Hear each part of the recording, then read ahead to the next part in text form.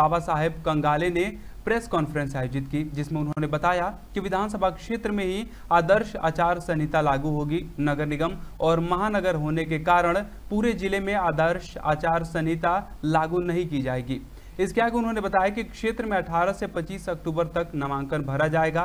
13 नवंबर को मतदान और 23 नवंबर को मतगणना होगी। सुरक्षा की दृष्टि से पाँच कंपनी तैनात की जाएगी। वहाँ मतदाताओं को लेकर उन्होंने बताया कि रायपुर दक्षिण में दो लाख सत्तर हज़ार मतदाता हैं, जिनमें महिला मतदाता क्षेत्र में ज़्यादा हैं। क्षेत्र में दो सौ तिरपन मतदान केंद्र हैं, जिनमें से दो सौ सत्ताईस मतदान केंद्र में लाइव स्क्रीनिंग होगी। सभी को नमस्कार। कल भारत निर्वाचन आयोग के द्वारा रायपुर नगर दक्षिण विधानसभा सीट के लिए उपचुनाव का कार्यक्रम की घोषणा कर दी गई है। और इस उपचुनाव के कार्यक्रम की घोषणा के साथ ही जो है, वहाँ पर आदर्श आचरण संहिता प्रभावशील हो गई है।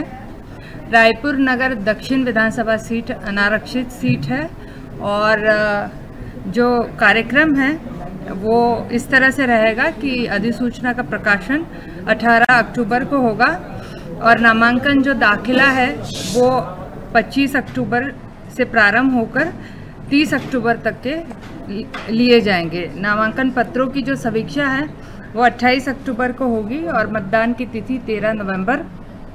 मतगणना की तिथि जो है, वो 23 नवंबर है और तिथि जिसके पूर्व निर्वाचन संपन्न करना होगा, वो 25 नवंबर रहेगा।